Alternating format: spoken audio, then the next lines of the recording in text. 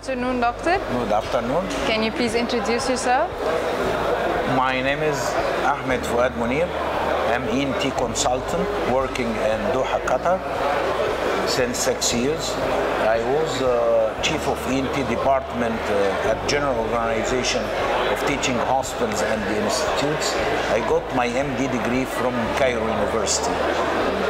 So, uh, well, My special interest is in rhinology. welcome, doctor. Doctor, what do you think about Rhino Egypt this year?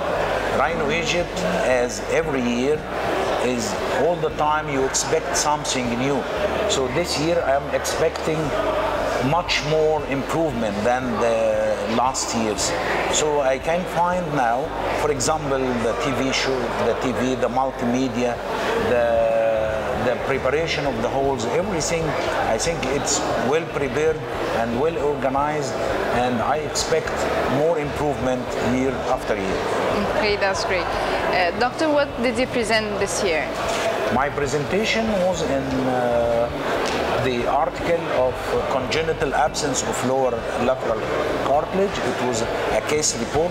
It was a rare case. Uh, it was nice to document that case. I have encountered coincidentally during my work with rhinoplasty case.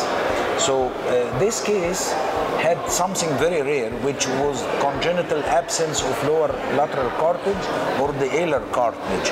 The patient was not oriented that she has something, she was born with it and she didn't know what was that.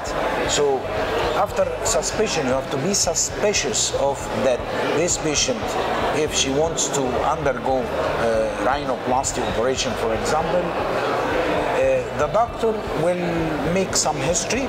After taking the history, we found that this patient had nasal obstruction and has has tip asymmetry and has something abnormal in the lower part of her nose.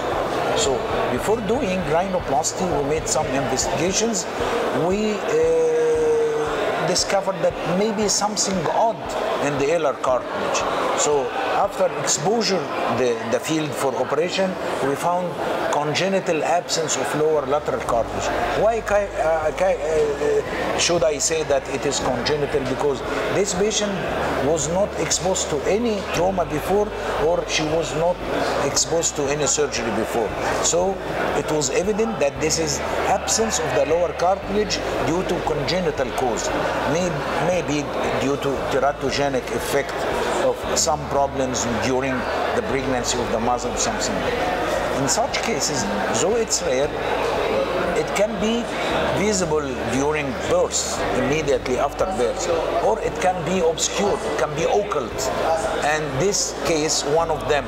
So it was nice to see that the case had this abnormality. We discovered it, and the nice thing that we corrected it according uh, to the basics and to the rules of rhinoplasty, especially secondary rhinoplasty operations. We have done and we corrected the case, and the patient, uh, the, the case was done uh, since two years. The patient now is happy with the, with, with the, the outcome and no asymmetry, no. No problems concerning the function of the nose also and we are happy also with the result. I documented the case and uh, luckily i made my presentation at uh, 4 o'clock and it was nice. I, I was uh, happy with the discussions and with the environment i was in. That Thank you so much.